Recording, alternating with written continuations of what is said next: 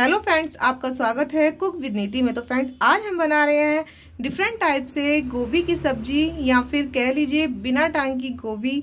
हाँ जो गोभी होती है, उसका पीसेस अलग अलग हो जाते हैं, लेकिन कई बार क्या होता है कि कुछ लोग नहीं खाते हैं और गोभी साइड में रख देते हैं और आलू आलू खा लेते हैं, लेकिन फिर क्या करें? जो घर की लेडीज़ होती हैं होती हैं परेशान। तो गोभी को किस तरीके से खिलाया जाए ये है एक नई रेसिपी जिससे ये गोभी की सब्ज़ी खा जाएँगे आप। और आपको पता भी नहीं चलेगा तो न्यू डिफरेंट टाइप से कैसे बना रहे हैं तो चलिए फटाफट शुरू कर लेते हैं बिना टांगी गोभी की सब्ज़ी। सबसे पहले हमने गोभी ले ली है, उसको अच्छे से हम देख लेंगे। एक एक जो फूल है उसको कि इसमें कोई भी कीड़ा या ना कुछ ना हो, और उसके बाद हम इसको वॉश करेंगे। सारा पानी निकाल लेंगे अच्छे से। जब ये ड्राई हो जाए तो हमें क्या करना है, हम करेंगे कद्दूकस। तो हम कद्दूकस कर लेते हैं अपनी जो गोभी है उसको। तो गोभी हमने कद्दूकस कर लिया है। इसके साथ हमने दो मीडियम साइज़ के आलू लिए हैं। उसको छील के वॉश करके हमने कट कर लिया है। बहुत ज़्यादा ना पतला करा है, ना बहुत ज़्यादा मोटा करा है। क्यूब्स में कर लिया है। हम यहाँ पे थोड़ी सी चिली ले लेंगे, यानी मिर्ची का पेस्ट या आप ऐसे चॉप करके भी ले सकते हैं। साथ में ले लेते हैं हम थोड़ा सा अदरक को। हमने कद्दूकस किया हुआ है चॉप भी कर सकते हैं। और दो लिए हैं हमने यहाँ पर टमाटर। जिसकी हम करेंगे प्यूरी तैयारी, जो कि मैंने ऑलरेडी कर ली है। और अब सबसे पहले हमें करना है एक पैन है कढ़ाई में ऑयल गरम। तो हम मस्टर्ड ऑयल में ये रेसिपी रेडी कर रहे हैं तो ऑयल गरम कर लेते हैं। ऑयल गरम हो चुका है वन टीस्पून जीरा डालेंगे। अब डालेंगे हम इसमें अदरक। साथ में डालेंगे हम मिर्ची का पेस्ट अच्छे से भूनने देते हैं। और इसके बाद हम डालेंगे टमाटर, प्यूरी। वन टीस्पून जा रहा है इसके अंदर रेड चिली पाउडर आप रेगुलर मिर्च भी ले सकते हैं या फिर कश्मीरी लाल मिर्च जो आपको चाहिए।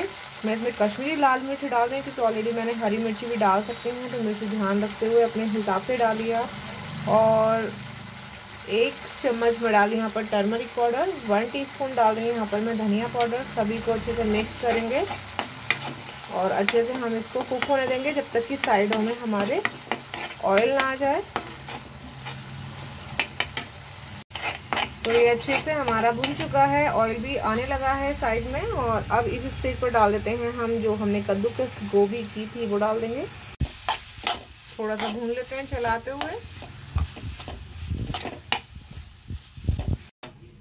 तो गोभी मैंने भून लिया है, थोड़ी सी डालकर, ज़्यादा नहीं भूनना, थोड़ी देर ही भूनना बस, कुछ सेकंड्स के लिए और अब हम इसमें डालेंगे लगभग हाफ़ कप पानी ऐड करेंगे।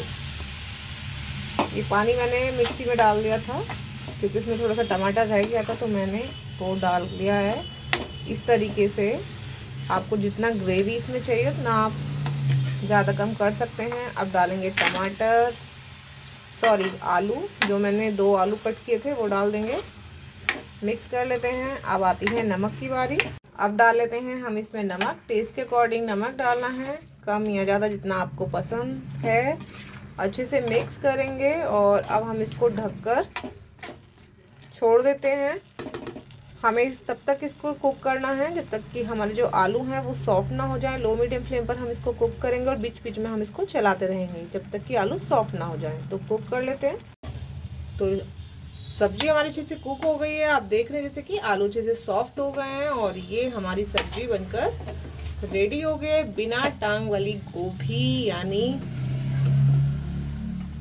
ग्रेवी में ग्रेवी नहीं है थोड़ी सूखी हमारी गोभी की सब्ज़ी है और इसमें हम हाफ़ टी स्पून डाल रहे हैं लास्ट में अमचूर पाउडर और थोड़ा सा डालेंगे हम इसमें गरम मसाला। आप चाहे तो लेमन जूस भी थोड़ा सा ऐड कर सकते हैं। वैसे तो, तो टमाटर डाले हैं लेकिन थोड़ा सा अगर अमचूर पाउडर आप इसमें ऐड करेंगे तो इसमें और भी अच्छा टेस्ट आ जाएगा। अच्छे से करेंगे मिक्स और सर्व करने के लिए हमारी जो सब्ज़ी है वो रेडी है। लास्ट में धनिया पत्ती से करेंगे गार्निश गर्मा गर्म हमारी गोभी की सब्ज़ी बनकर रेडी हो गई है और वो भी हमने धनिया पत्ते से गार्निश कर दी है। तो जिसे आप पराठा, पूरी या चपाती किसी के साथ भी खा सकते हैं, सुबह के नाश्ते में या रात के डिनर में। बच्चों के लिए लंच बॉक्स के लिए बहुत ही अच्छी रेसिपी है जो बच्चे नहीं खाते हैं गोभी। और कर देते हैं साइड में, वो चटाचट खा जाएँगे इसको और उन बड़े मज़े से खाएँगे तो क्यों ना ट्राई करें आप। तो वीडियो कैसी लगी ज़रूर कमेंट करके बताइए, वीडियो को लाइक, शेयर करना ना भूलें और चैनल को सब्सक्राइब करें। Thank you.